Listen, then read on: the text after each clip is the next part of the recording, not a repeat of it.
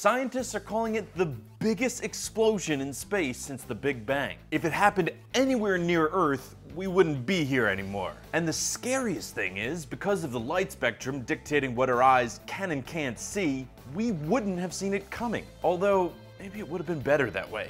Hey guys, I'm Patrick Jones for Buzz60. Sorry to jilt you like that, but it shows how incredible this gamma ray blast was. Gamma ray blasts happen when stars run out of fuel before they turn into black holes, and they explode outwards in a relatively narrow and focused supernova.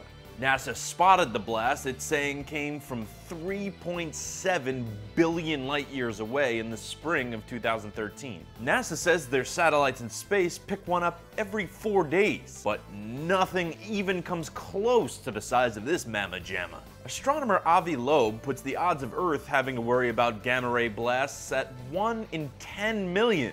That doesn't make me feel better. The odds were worse to get one of Wonka's golden tickets. Buzz 60, now you know, pass it on.